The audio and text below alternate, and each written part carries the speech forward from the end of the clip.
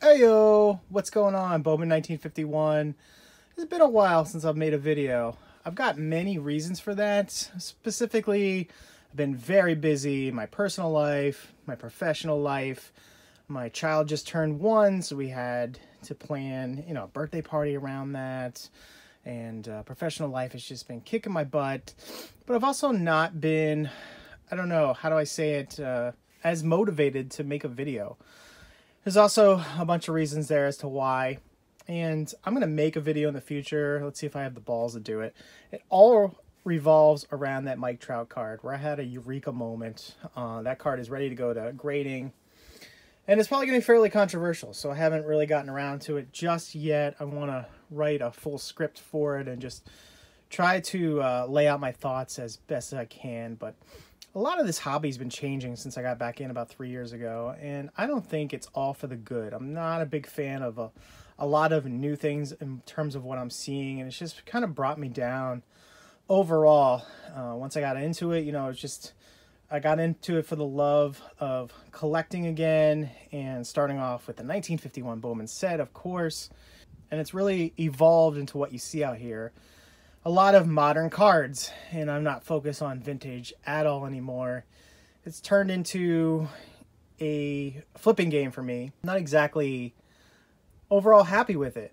I pull in four figures a month from selling all my cards from all the platforms that you can, everything from COMC to eBay, and it's just I don't know, it's not bringing me happiness. So I may put out less videos. I don't know. I'm not running away from the channel or anything we've got that issue along with, uh, you know, I've got a COMC order out here, as you can see from the title of the video. But I put in an order, didn't rush the shipping back in June, and I think it's expected towards the end of September. So that one's got a long way to go. I like to do grading reveal videos. I've got four orders out right now, one sitting there since November that has not arrived and you know I love that's good content to just share. I love the blind reveal videos the most because I'm surprised along with everybody else, and I, I am not getting them back. Uh, I can blame the pandemic for a bit, the volume of grading and how backed up the companies are. That's fine, but it's just there. I'm not getting shipment orders of cards other than you know if I got a card here or there from eBay, which there's a handful in here from eBay as well as COMC, and there's also the fact that two years ago or so, I renamed my channel to, you know, an adventure type videos uh, that I like to do where I go out to card shops, card shows. And with the COVID 19 hitting, I haven't been able to do that. So there's lack of motivation. I do get ideas here and there in my head that I'd love to execute on, just haven't been motivated. And due to the lack of time in my own life, that's just, I don't know things are changing very quickly in this hobby and i know many of you see it. We've talked about it privately so i guess i should just get into the cards here. Let's let's turn it positive. Uh, you know i've seen those back pages talk about some of this and uh, i know others have like i said privately with me and i've seen it on twitter things of that nature. So without further ado let's just talk about some recent pickups. All right let's get into some minor pieces of basketball I just got to start with um, Dwyane Wade stuff got really hot on COMC very quickly. So I didn't own any. Uh, this might be a 2006 07 card here. Topps Chrome, anything Chrome from D Wade is going to rise quickly. Grab it if you haven't already. Vince Carter rookie here. Oops, that one is sticking. That should go in uh, the football pile. Vince Carter, rookie. Uh, he is going to be headed into the Hall. First NBA player to ever play over four decades 90s, the nuts, the teens, and the 20s. So, incredible career from my favorite college basketball team, North Carolina Tar Heels. And that's just uh, the Topps base rookie card there. Finally, this was not a COMC purchase. This was pack pulled just last night a Rui Mosaic pink here. Love the shine on that card. Got in the card saver one, and I'm going to be sending off to SGC in my very next order. Beautiful pull there from the hanger pack. I think just a couple cards come out of that final pink pack, and that was a pretty big hit. Put these basketball back out here while I move on to some baseball. Gosh, is the season even going to happen? Uh, I think it's still up in the air. I really do. Uh, a couple teams come down where half of them, the roster's out for two weeks because they all contracted the virus. And um, I don't know. Uh, I hear a lot of pleas to shut it all down. We will see what happens. And the same with football season coming up. All right, so this is a fairly big stack here. Uh, I wanted to pull off a couple rookie cards of Rafael Devers. I just don't have this one graded yet. I've got all his base Topps cards and uh, grab two of those just to make sure we can get one that's gradable there. Yoan Moncada. Uh, I've got more coming to this too, uh, the base Topps, but I grabbed uh, the Topps Chrome here and the Bowman Chrome. That has jumped significantly recently. Shout out to Pepino Man, one of his favorite cards of the last couple of years. Dick Lovelady, everyone. And I had to grab the gold version. It's just, it's funny, right? Older Trout, Mike Trout's uh, 2012 AL Rookie of the Year card. Don't have this one graded. And I think I've spent about $7 raw on this, which I thought was a real good deal. Those will continue to climb. A pink Michael Chavis. I've been quietly picking up as much Michael Chavis as I can because I think he's currently undervalued. He ended the season rather poorly last year, and he's almost an afterthought at this point. But if he can get some protection behind him in that Red Sox lineup, uh, I think he could have a fairly decent sophomore year. Jon Lester. This one was inspired by a video from Ray from Philly they went through all the pitchers, I believe, who have more than 1,500 strikeouts and have a good chance of going to the Hall. So this is his Bowman rookie card, the gold version.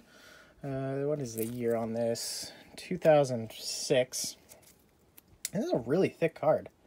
I thought it, they actually put two in here at one point, but no, that was the, the card stock back then. So don't sleep on Jon Lester. He still has a good chance at the Hall, especially if he finishes his career strong. And this guy is almost a no-brainer to me. Big Poppy.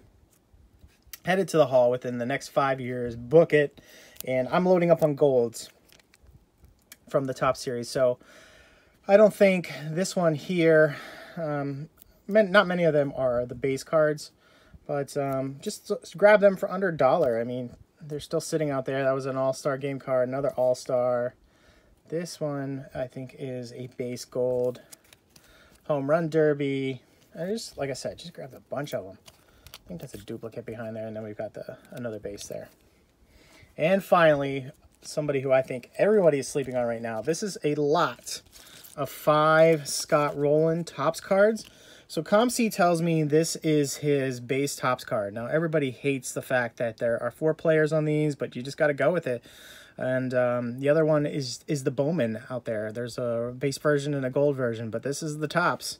So I got these very cheaply on eBay. Now, this one looks pretty off center, left to right there, so that's not going to be a grading candidate, but I hope to get at least two out of, say, five of these graded because he's got a good chance at the Hall, probably within the next two years.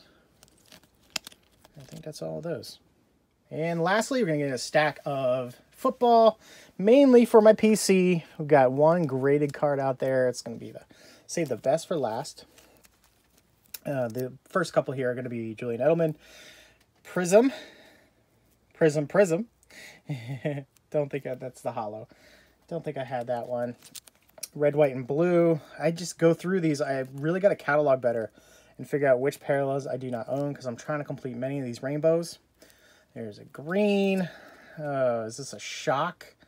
I can't remember half of these. They all just look different. There's a uh, unparalleled. I think this might be numbered.